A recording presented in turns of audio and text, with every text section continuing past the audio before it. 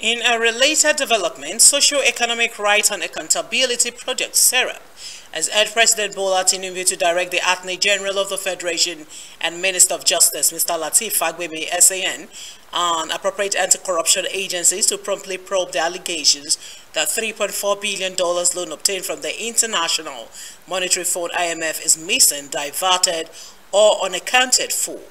The 2020 annual audited report published last week by the Auditor General of the Federation document damning revelations, including that there was no document to show the movement and spending of the IMF loan.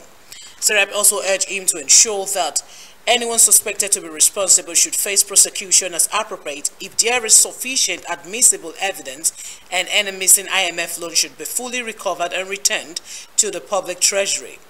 In the letter signed by SERAP Deputy Director Kolawole Oluwadare, the organization said there is a legitimate public interest in ensuring justice and accountability for the serious allegations. Taking these important measures would end the impunity of perpetrators.